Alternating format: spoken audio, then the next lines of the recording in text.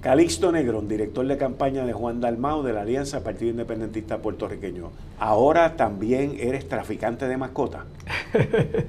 a Juan lo acusaron de traficar con droga y a mí con mascotas. También desesperados.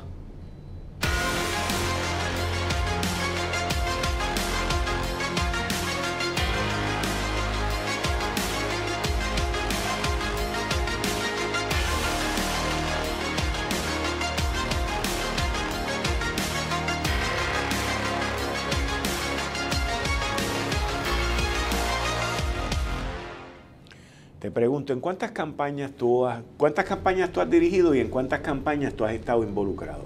Bueno, yo he estado participando desde el 2008 en las campañas del Partido Independentista y esta es la cuarta campaña que entonces dirijo desde el 2012. Cuarta campaña que tú diriges. Que yo dirijo, sí. 2012, 16, 20 y 24. Y de esas cuatro, cuatro campañas, me imagino que Juan ha corrido a gobernador en, en 2012, que fue la primera que él corrió, y la del 2020. Y entonces, te pregunto, de todas esas campañas, ¿tú entiendes que esta es la más que ustedes han recibido ataques, la más sucia, la más que están atacándolos a ustedes personalmente? Así mismo es, y es por una razón sencilla, y es porque hay una posibilidad real de triunfo en este proceso electoral y particularmente la campaña de Jennifer González del PNP. Bueno, pues han identificado a Juan Dalmao como un riesgo y un peligro para sus intereses. Y en ese sentido, pues se han desbordado en ataques y particularmente en ataques eh, que es lo triste, porque uno puede diferir y tú puedes atacar en los méritos, ¿verdad? Eh, a, otro contingente. Pero el, en el caso de esta campaña, lo que han hecho es hacer una campaña de mentiras, de demagogia, de falsedades. Y eso es lo triste. Ahora, eh, lo último, que fue lo último que vi, era que te, a ti te estaban acusando de ser traficante de mascota. ¿Cómo, cómo sale? ¿Cómo sale tú tienes un pet shop, este, tú tienes mascota, ¿Cómo, sale la vaina esta? No, mira, la semana pasada Juan presentó, eh, como parte del programa de gobierno, una sección que tiene que ver con el bienestar de los animales. Y producto de esa conferencia de prensa, entonces empieza a percolar en las redes sociales de una persona que no da cara, no da cara pero que todo el mundo sabe que está a sueldo del PNP, esta campañita de que yo soy un traficante de mascotas, lo cual es totalmente falso. Yo tengo 12 gatos en casa porque mi esposa y mi hija son fanáticos de los gatos. Tengo un perro rescatado de una pista atlética en donde yo corro, eh, que se llama Bartolo. Y tengo una perrita Frenchy porque mi hijo quería una Frenchy, así que eso es lo que tengo. Pero nada, eh, eso es parte del proceso y yo creo que lo que hace es, como te dije, eh, una muestra más de la o sea, un acto conscientemente desesperado del liderato del PNP que ven en la candidatura de Juan Dalmao eh, una amenaza a la posibilidad de que continúen ellos en el poder. Y en ese sentido, pues nada, nosotros seguimos enfocados en llevar el mensaje al país de que hay una posibilidad real de cambio, de que es urgente este cambio, que tras 55 años de cogobierno PNP y popular en Puerto Rico, bueno, pues el país está como está y yo creo que todo el mundo lo, sufre. No hay una sola agencia que funcione, están todas en crisis y que la única forma de uno eh, cambiar el rumbo del país es no respaldando a ninguno de los que han estado eh, durante los últimos 55 años porque ¿Qué uno puede esperar que vayan a cumplir ahora de lo que prometen si han tenido 55 años para hacerlo y no lo han hecho? Así que, en ese sentido, pues yo creo que esa campaña es una, manifestación de que nosotros vamos bien, de que vamos bien y de que hay una posibilidad real de ganar. ¿Cuáles son los tres pilares de la campaña que tú diriges en términos de Juan? ¿Cuáles son los tres pilares? bueno, las tres bases más importantes de esa campaña. En primera instancia, el historial la trayectoria y el carácter de Juan. Pienso que de todos los candidatos a la gobernación, quien mejor preparado está es Juan Dalmao. Pienso que quien más eh, confianza, eh, ¿verdad? Eh, confianza que tiene en sí mismo. Confianza, confianza del país en los candidatos. Quiero que, Juan Dalmao, la gente confía en él, lo perciben como una persona honesta, capaz, y a eso se le suma el hecho de que vivimos en un Puerto Rico en donde el país percibe al PNP y al Partido Popular como dos maquinarias altamente corruptas, que ya no responden a aquel Partido Popular de Justicia Social, eh, que en algún momento dado el país lo veía con, con, con esperanza. Eh, tampoco ven al Partido Nuevo Progresista como el Partido Nuevo Progresista de Luis Ferrer. Eh, y cada vez son más los estadistas que no confían o no se ven representados en ese liderato del Partido Nuevo Progresista, pues por todos los años de corrupción. Y en el caso del Partido Popular hay un problema y el problema es que colapsó su proyecto histórico, tienen una ausencia y carencia de liderato. Eh, Jesús Manuel, por más buena gente que sea, no es un líder, o sea, no lo perciben como tal, no tiene chispa, no tiene carisma, no motiva a su hueste a seguirlo.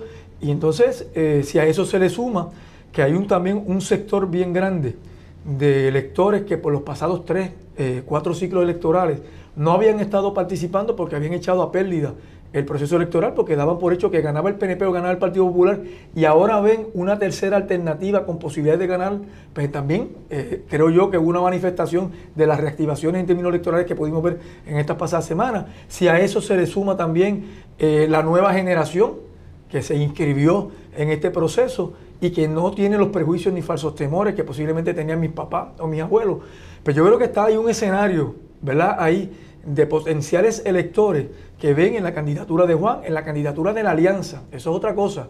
También el hecho de que, de que el país haya podido ver cómo el PIB y cómo Victoria Ciudadana, a pesar de que son dos partidos distintos, a pesar de que hay diferencias, estuvieron dispuestos o estuvimos dispuestos a echar a un lado aquellas cosas que, que, ¿verdad? que, nos, que nos difieren y pusimos aquellas cosas en las que tenemos consenso por el beneficio del país contrario al PNP y al Partido Popular, que sus campañas son qué? Sus campañas son de voto íntegro. Y es el voto menos íntegro en este proceso electoral. Ahora, te, quiero, te quiero llevar porque sé que tú fuiste la figura, eh, al igual que los otros directores de campaña, que negociaron los debates, las reglas de los debates.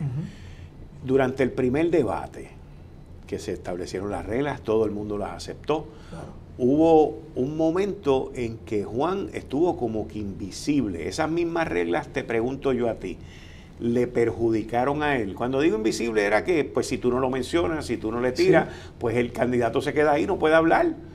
Eh, esas reglas le perjudicaron a él en ese primer debate. ¿Pudo él llevar su mensaje como quería? Bueno, ciertamente Juan estuvo menos en cámara que todos los demás. Además, estuvo a la mitad del tiempo que tuvieron eh, Jesús Manuel y Jennifer.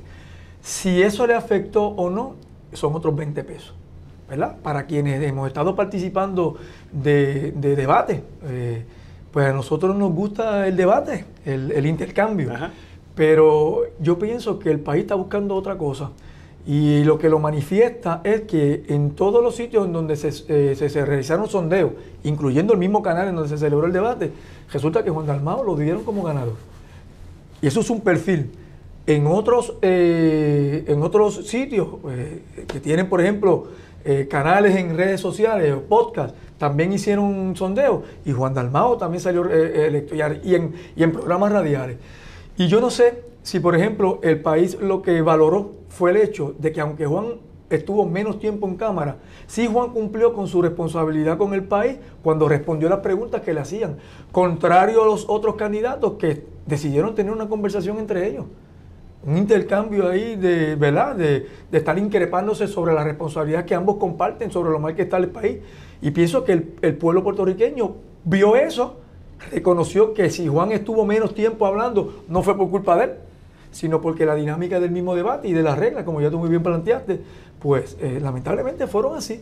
No le hicieron preguntas de seguimiento y ninguno de los otros dos, pero de los otros tres eh, candidatos, parece que no querían debatir con él porque en ningún momento lo señalaron.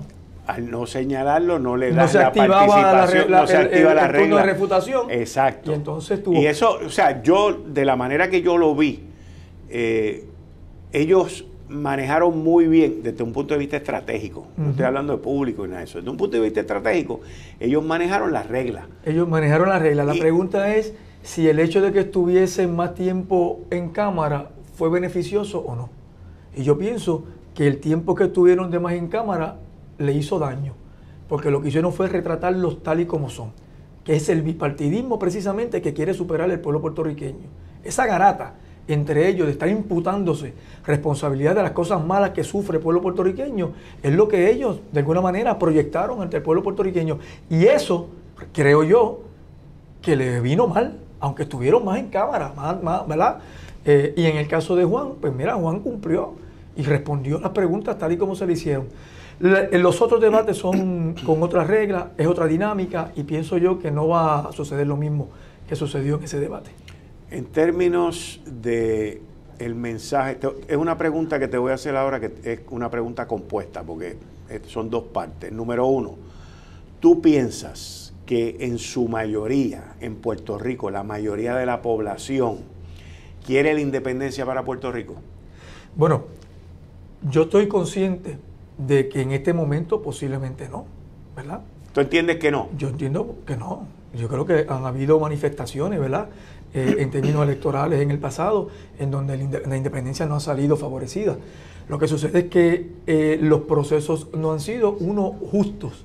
¿En qué sentido? Bueno, que por ejemplo yo pienso... Porque la independencia siempre ha estado ahí, la estadidad también. Sí, lo que pasa es que el proceso, por ejemplo, que propone Juan, es un proceso en donde se ponga al otro, a la otra parte que está aquí, que es el Congreso norteamericano y el gobierno norteamericano. Mientras no haya un proceso de negociación y consulta con el Congreso y con el gobierno norteamericano, en donde todos los grupos, eh, ¿verdad? Este, en términos de estatus, eh, puedan ir a conversar allá. La propuesta de Juan es una asamblea en donde el país, mediante el voto, escoja delegados en representación de cada una de las fórmulas. Cada uno de esos delegados en representación de cada fórmula definirá la fórmula.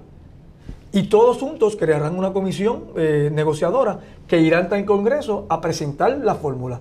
Y en ese proceso se le planteará al Congreso, oye, nosotros aquí diferimos en cuanto a la resolución final del estatus, pero en lo que todos estamos de acuerdo es en que ustedes tienen que responder sobre cada una de estas propuestas. ¿Cuál es viable y cuál no? ¿Bajo qué términos y condiciones son, son viables? ¿Cuáles son las responsabilidades? ¿Cuál es el proceso de transición de cada una de las fórmulas? Y una vez se negocie y se hable con el gobierno norteamericano y el Congreso y se defina y haya un compromiso de parte de ellos de que estas son las fórmulas eh, válidas, entonces se regresa al pueblo puertorriqueño y el país vota con conocimiento de causa por alternativas reales. Y nosotros entendemos que en ese proceso, cuando ese proceso se da, a la larga y a la ancha, el país va a optar por, la independencia porque van a verlo como es que lo más lo que le conviene. Ahora, tanto a ellos, tanto al gobierno norteamericano como al pueblo puertorriqueño. Ahora, sí. Pero eso, Quique, es importante explicar que eso no es lo que se discute ni se decide el día 5 de noviembre. El día 5 de noviembre lo que la gente va es a votar por una persona comprometida con administrar lo que hay. Lo, que hay. Lo que pasa es que el compromiso es de instalar un gobierno limpio, un gobierno justo, honesto, capaz, que responda verdaderamente a las necesidades, que no responda a quienes le sufragan y le pagan las campañas políticas, que lamentablemente así es en el PNP y en el Partido Popular, y también está votando por alguien comprometido con atender seria y responsablemente el tema del estatus en ese mecanismo que te acabé de explicar, separado de las elecciones. Ahora, ¿por qué es necesario una asamblea como la que tú explicas, cuando en sí lo único que hay que definir es una de las partes, una de las de la, de la fórmula de estatus? Porque la independencia no hay que definir lo que es la independencia, la estadidad no hay que definir lo que es la estadidad. La única que tú tienes que definir es si quieres meter el Estado Libre Asociado o no. Porque la Asamblea de Estatus lo que hace es separar al gobierno ah, de ese proceso. Una vez el país escoja los delegados en esa asamblea, esa asamblea tiene mandato de pueblo porque fueron escogidos por el, por el, por el país mediante el voto. ¿Y, cómo y entonces eh, tienen, un, tienen un mandato de trabajar con el tema del estatus hasta que se resuelva separado. Ahí el gobernador ni la legislatura van a, meter, a meterse en ese proceso. ¿Y cómo se escogen los miembros de esa asamblea? O sea, ¿cuántos ah, miembros van a haber de la alianza? ¿Cuántos miembros van a haber de los populares? Bueno, pues eso será, eso? será parte del proceso legislativo cuando se esté cuando se esté creando la ley. No voy a entrar en ese detalle porque... No, no, está bien. Ahora, entonces, ya que tú me traes... Pero el, asunto, el asunto es que van a escogerse delegados de, de, de las distintas alternativas. ¿Cuál va a ser el proceso? Bueno, pues eso se, se negociará. Me traes a la parte legislativa. vamos a decir que el 5 de noviembre Juan Dalmau gana y en el 2025 él gana la gobernación. Vamos a decir que eso ocurre. Pero entonces, ¿cómo va a trabajar Juan con una asamblea legislativa? Que él no va a tener el control de Bueno, eso es tu parte de esa premisa. No, no, yo parto de la premisa y yo creo que estoy bastante cerca de la premisa. Vamos a decir, pero si él gana, vamos a ponerlo de esa manera. yo, yo, creo que hay dos posibilidades. Ok, pues vamos, vamos, a hablar de las dos. Ok, yo creo que hay una posibilidad ¿Cómo él trabajaría? ¿Con una posibilidad uno y con una posibilidad dos? Exactamente, mira, por cualquiera de las dos. Si llega, si, si resulta ser, ¿verdad? A lo que nosotros aspiramos, que el país vote mayoritariamente por una, por una nueva asamblea, una nueva mayoría, bueno, pues obviamente eh, Oye, ahora mismo hay un gobernante PNP y una asamblea dividida. Exactamente. Y vamos a suponer que resulte que sucede lo mismo y que hay una, una, asamblea dividida. Bueno, yo creo que de todos los candidatos, el que más ha demostrado tener la disposición al diálogo y al consenso es Juan. Y no es porque, porque de ahora para ahora, es porque su historial también legislativo, así fue. Muchas de las medidas legislativas que Juan presentó y que lograron convertirse en ley fue gracias a esa disposición a él a negociar y a dialogar porque yo creo que es de la única manera que podemos echar al país. Si de 20 propuestas que tienes tú, nos podemos sentar y decir, oye, vamos a ver, ¿en cuáles de estas 20 nosotros eh, coincidimos?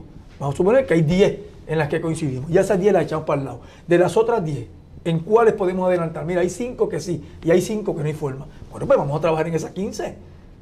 Yo creo que se puede. Lo que, hay que, lo que se necesita es voluntad y disposición. Y en ese sentido, Juan está muy consciente es más, Juan es el único candidato con posibilidad de triunfo que llegaría a la gobernación y a ganar, consciente de que ganó no con votos de la base ideológica nuestra. Sabemos que si gana, va a ser con votos estadistas, con votos de gente que votó popular, con votos de gente que no pertenece a ningún partido y con independentistas. Calixto Negrón, director de campaña de Juan Dalmau en las elecciones del 2024. De Juan ser gobernador, ¿tú formarías parte del gabinete?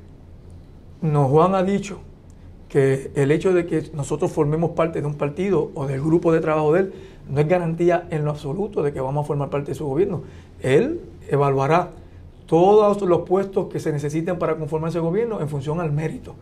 Si ese proceso resulta que los que evalúen entiendan que yo tengo los méritos para poder ocupar algún puesto, bueno, estaría profundamente honrado. Pero no es porque yo sea el director de campaña ni que porque sea miembro del Partido Independentista. Muchas gracias. Gracias a ti. Y gracias por estar aquí. Te invito a que te suscribas a mi canal de YouTube bajo Enrique Quique Cruz y le dejas la campanita para que te alerte del contenido que estamos publicando semanalmente. Hasta la próxima.